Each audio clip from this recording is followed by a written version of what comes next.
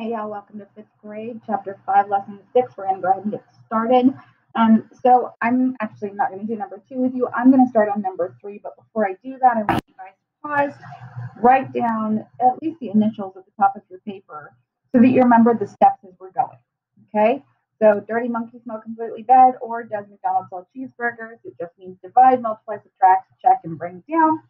So we're gonna get started, okay?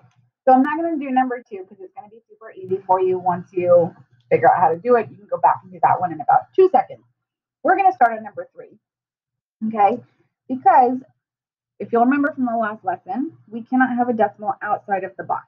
So I have to move it one, two times, which means I need to move this one one, two times. Okay. So now I'm going to have seven into 168. Okay. So seven's not going to go into one. It will go into 16, 2 times 2 times 7. Okay, so you'll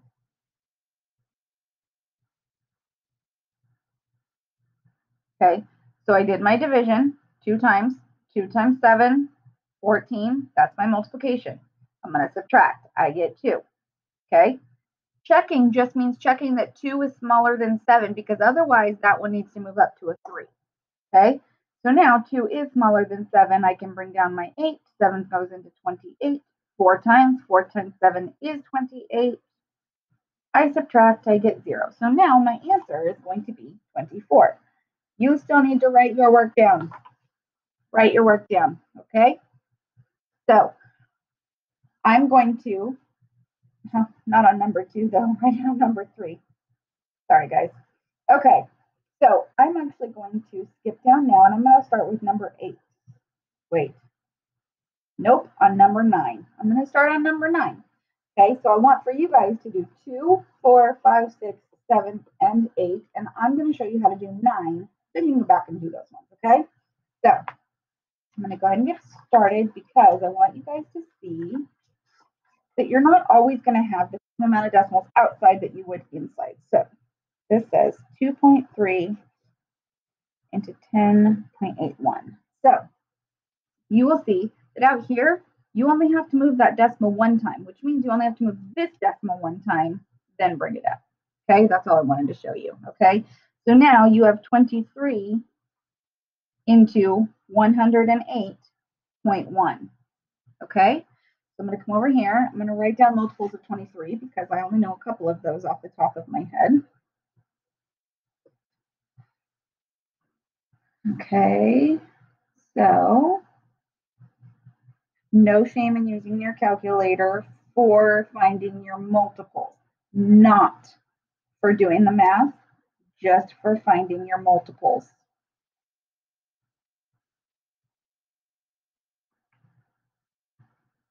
Okay, so hopefully we don't have to go anywhere past this, okay? So now 23 Well, first, we definitely need to push our decimal up. Okay, it stays there.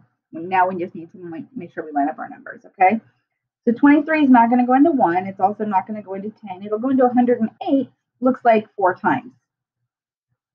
That was 92. Subtract.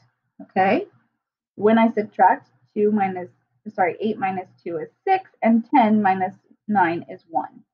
16 is smaller, than 23. So I'm going to go ahead and bring down that one. So maybe I will have to go a little bit further. Okay.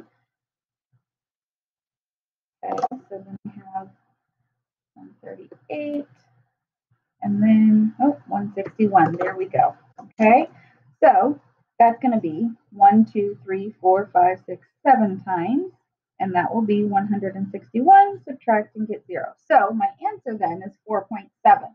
Okay, Make sure you write down your work. Okay. Remember, I just wanted to show you. You don't have to move the decimal to the end of whatever this is. You have to move it the same amount of times that you had to move out here. That was just one time. So all I had to do was move it one time and then bump it up. Okay. So go back and do two, four, five, six, seven, and eight. And make sure you write down your work for three and nine. Okay. We are going to go down to number 10 and it says at the market, grapes cost 85 cents per pound, Clarissa buys grapes and pays a total of $2.55. How many pounds of grapes did she buy? Okay, so I'm going to move that decimal one, two times and one, two times. So now I'm going to have 85 into 255. Okay, so I'm going to write down my multiples of 85 because I don't know those.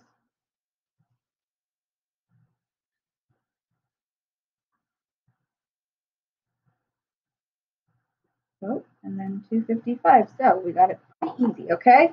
So 85 is not going to go into 2 or 25, but it looks like it will go into 255. 3 times 3 times 85 was 255. Subtract and get 0. So that would be 3 pounds. Okay? All right. Make sure you write your work down, guys. Okay? Beeman kayaks on a river near his home. He plans to kayak a total of 6.4 miles. Beeman kayaks at an average speed of 1.6 miles per hour. How many hours will it take Beeman to kayak 6.4 miles?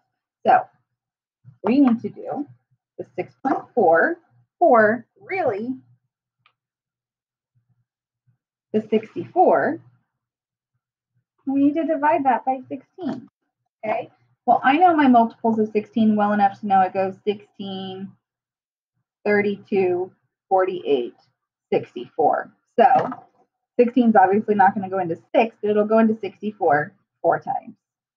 4 times 16 is 64. Subtract and get 0. So that's going to be 4 hours. Okay, make sure that you write your work down. Okay, all right we are going to go on to the back and you're going to do the lesson check. Okay, we will do the spiral review together. Okay. Susie's teacher asks her to complete the multiplication problem below. What is the product? Okay. So I would actually, instead of doing it this way, I would put the 3.7 on top because I want to multiply everything by zero. So I'm going to take that zero out. Okay. Now I'm just going to go 3 times 7 is 21, carry the 2. 3 times 3 is 9, plus 2 is 11, and I'm going to go in 1, 2 places for the decimal, so 1.11. Okay? All right. An internet store, a laptop computer costs $724.99. At a local store, the same computer costs $879.95. What is the difference in the prices? Difference means subtract. When you have to find the difference, you are subtracting. So we're going to put the bigger number up top. We're going to subtract the smaller number. And the answer is going to be our answer to our problem. Okay? So I'm going to drop my decimal first. 5 cannot take away 9, so I'm going to borrow 1, making that 15. 15 take away 9 is 6. Okay, 8 cannot take away 9, so I need to borrow 1 again, making that 18. 18 take away 9 is 9. 8 minus 4 is 4. 7 minus 2 is 5, and 8 minus 7 is 1. $154.96. All right, so if you will remember from our previous lessons, when we are dividing by 10 with the exponent, we are moving the ex we're, we're moving the decimal the amount of times that the exponent says. So you'll see this one says zero, which means they didn't move the decimal at all. Okay. This one says one, so we're going to move the decimal one time that way. So 7.58. This one says two, one, two, point seven, five, eight. Okay. All right. Which symbol makes the following statement true? Greater than, smaller than, or equal to. So we have, they both start with 5. They both have an 8. They both have the decimal there, so that's good. That one has an 8, and that one has a 9 now, which makes that one bigger. All right, guys, that is it for 5.6. Come on back for 5.7. See you soon.